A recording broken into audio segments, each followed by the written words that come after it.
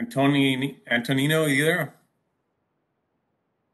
Hi, just checking whether you can hear me. Yes, we can hear you. It's all yours. Hi, thanks a lot. And thanks also to Clive and everyone who put together this very interesting event. It's been a pleasure listening uh, to all of you. So, oh, my name is Antonino. I'm a space lawyer. I recently joined the Open Lunar Foundation as policy analyst, and I'm presenting this abstract also on behalf of my colleague Jessica uh, Schingler. And today, with this presentation, we wanted to solicit reflections on the coordination aspects of a coordinated uh, campaign. Um, next slide, please. So, what, what we wanted to do is solicit reflections on a number of things that are critical to the success of this of this campaign, but that, of course, as scientist, may not be the first thing that you've been uh, that you've been reflecting upon. Uh, and those uh, critical aspects are summarized in six points that you can see on this slide. So I will briefly touch upon each and every one of them, but the purpose of this presentation is more to ask the questions and then see how we can answer them all, all, all together.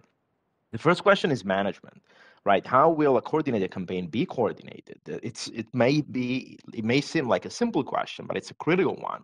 Is it going to be a single entity, maybe you know those who organize this event coordinating everything, or is it going to be that everyone who participates get a say into how do we manage the campaign?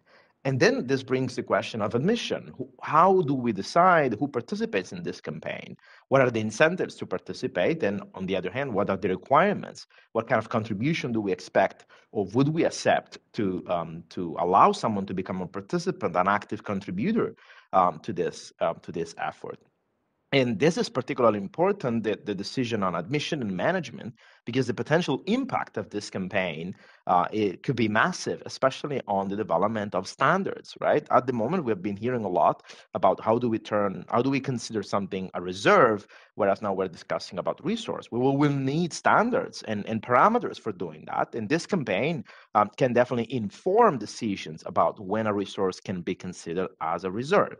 Uh, and that also connects with the topic that has been discussed extensively already in the chat and it's been a pleasure following that discussion, which is about data policy, right? What's going to be the data access and licensing regime for um, for this campaign, for whatever's going to be found in this campaign, and how we're going to distinguish between scientific and commercial data. What's going to be available for the rest of the public that is interested in the results of this campaign? What's going to be available to decision makers? What's going to be available to investors? And then to the scientific community? There's going to be different layers of people interested in the data, and how do we handle uh, them? And then this brings me also to the point of external relations you know? This campaign will hopefully see a lot of participation but not everyone who wants to participate will be able to do that for a number of reasons. So how do we interact with the rest of the public? So not only how do we manage data internally but how do we present the results of this campaign? And how this campaign interacts as such with the rest of the scientific but also commercial community. And then finally, and related to all of it, uh, what is going to be the policy precedents that this campaign will set uh, eventually uh, and unintentionally, or what kind of precedents do we want to set with this campaign? What do we want to uh, leave as a mark beyond the, sim- the data that will be discovered on how do we prospect and eventually then go to the extraction and utilization of space resources? Uh, next slide, please.